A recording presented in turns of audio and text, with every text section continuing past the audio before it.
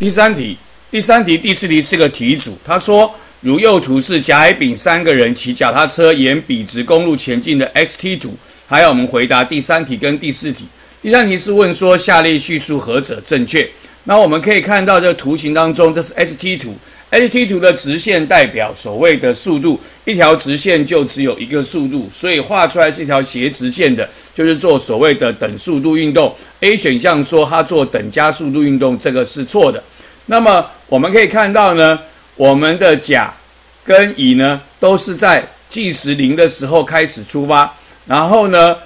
丙呢是在计时十秒的时候开始出发，所以他们并没有在同一个时间出发，所以呢，我们的丙选项以 B 选项呢说同时出发也是错的。我们也看到呢，我们的乙跟丙呢都是从原点呢开始出发的，可是我们的甲呢却是在距离十公尺的时候地方出发，所以呢，D 选项说甲、乙、丙三个人在同一个地点出发也是错的。那么只有剩下 C 选项，在二十秒的时候呢，我们看到呢，三个人的位置呢都在二十公尺的地方，所以他们就会相遇在同一个地点，就是距原点二十公尺的地方。因此呢，我们知道呢，这一题的答案呢，应该选择的是 C，在二十秒时，甲、乙、丙三人相遇在同一点。